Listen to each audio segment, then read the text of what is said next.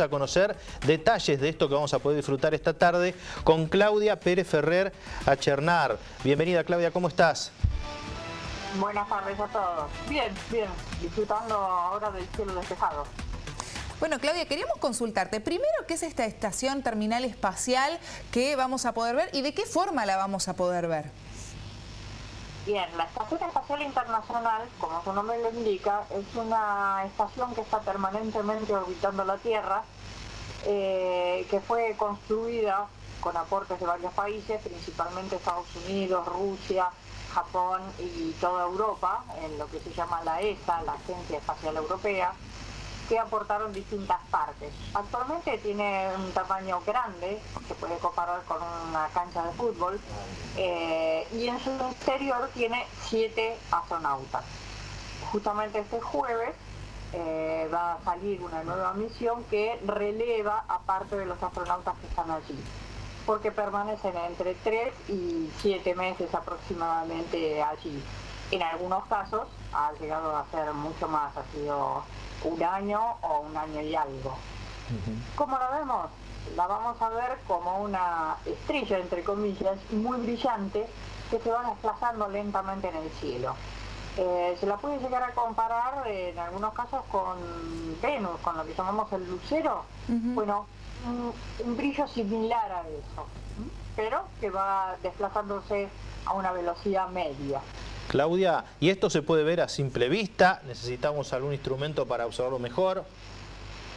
No, no, esto se ve a simple vista, es, eh, digamos, habitual, depende de la secuencia del movimiento. Ustedes piensen que eso eh, orbita la Tierra a una altura de 400 kilómetros, viaja a la friolera de 28.000 kilómetros por hora, eh, y para describirlo habitualmente, para dar una vaga idea del, movimiento que hace, es como cuando estamos ovillando hilo, que nuestra mano sube y baja, pero al mismo tiempo giramos el ovillo. Bueno, imaginemos que el ovillo es la Tierra y nuestra mano que sube y baja con el hilo es la órbita de la Estación Espacial Internacional. Esto hace que en algunos momentos sea visible, en otros dejemos de verla porque pasa, pero pasa en pleno día y no la vemos, y en algunos momentos sea visible al atardecer, en otros al amanecer, y a su vez cambia la dirección, a veces es de norte a sur y a veces es más de sur a norte. En este caso, en el atardecer de hoy, esperen que tengo varios pasos, em, a las 19.20 va a aparecer por el noroeste, tengan paciencia, porque yo digo 19-20 y es el momento en que aparece sobre el horizonte. Pero va a depender si uno tiene alrededor árboles, edificios, casas que nos oculten un poco el horizonte, el horizonte perdón, vamos a tener que esperar a que esté un poco más alta para empezar a verla. Cuando la vean, no se la van a confundir con ninguna otra cosa, como digo, muy brillante, similar al lucero, eh, y que se va desplazando, suelo describirlo majestuosamente por el cielo. Claudia, conocíamos algunos datos hoy antes de comunicarnos con vos para pautar esta nota, que es, por ejemplo, eh, la vuelta alrededor del planeta en minutos, nada más, y que los astronautas que están en, eh, eh, transitando este periodo, que ahora van a hacer el recambio, ven hasta 15 amaneceres y atardeceres por día. ¿Esto es verdad? Sí, Sí, eh, exactamente, porque contemos que al estar dando vuelta alrededor de la Tierra, da una vuelta en 90 minutos, en 91 minutos. Quiere decir que cada 91 minutos ven un atardecer o un amanecer. Lo mismo que en su momento en las salidas de la luna, por ejemplo. La, verían muchas veces cada vez que dan una vuelta a la Tierra. Bueno, impresionante. Y con la situación del clima que tenemos hoy, ¿se va a poder apreciar sin problemas? Em, sí, digamos que sí. Eh, tenemos que cruzar los dedos porque sabemos que en Mar del Plata a veces pasa que a la puesta del sol se enfría el aire y llega la bruma que a lo mejor está agazapada, digamos, sobre el mar. Eh, pero esperemos que si sigue así despejado lo vamos a ver perfectamente. Eh, les digo más, eh, dos detalles. Uno, la Estación Espacial Internacional hoy va a pasar debajo, vamos a decir, de las Tres Marías, de la constelación de Orión. Si hoy no se ve, El jueves vamos a tener otro paso así muy alto y brillante. En este caso va a pasar como si fuese por arriba de Orión, por arriba de, las Tres Marías. Em, y también va a ser muy brillante, en este caso va a aparecer a las 7 mm, menos 25.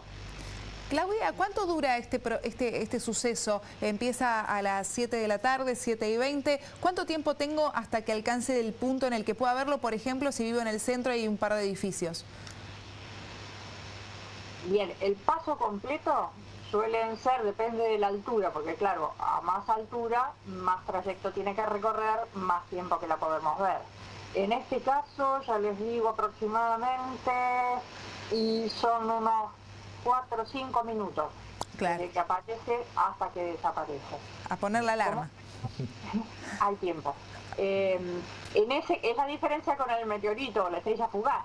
Claro. en este caso uno está mirando el cielo y al que tiene al lado le dice mira y cuando mira ya no está. En este caso tenemos tiempo de entrar a buscar a alguien y al que se asome y compartir justo la, observación. Lo ideal sería eh, la costa. ¿Cómo, perdón? Lo ideal sería ir a la costa. No, no ah, específicamente, porque la dirección es del noroeste, más o menos, o sea, sería para el lado de Sierra de los Padres.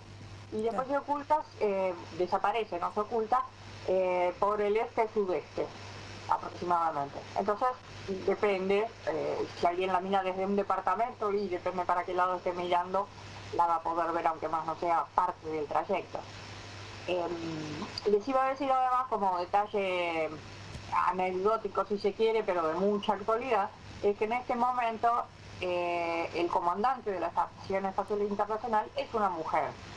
Y dentro del relevo que llega ahora también hay una mujer que en este caso no va a ser la comandante, pero se busca la participación. Así como también les aclaro que hay astronautas norteamericanos, rusos, en este momento hay japoneses y eh, un francés que representa a la Agencia Espacial Europea.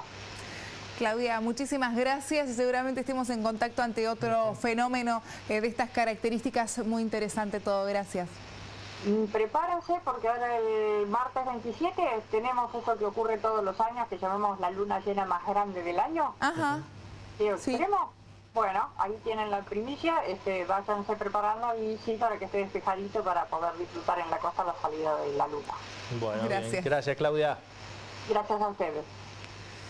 Seguimos con más noticias que llegan desde ahora a mardeplata.com.ar. Martín. Tiene que ver con una denuncia de consejeros escolares. El cuerpo de consejeros escolares llevará a cabo de manera virtual una sesión especial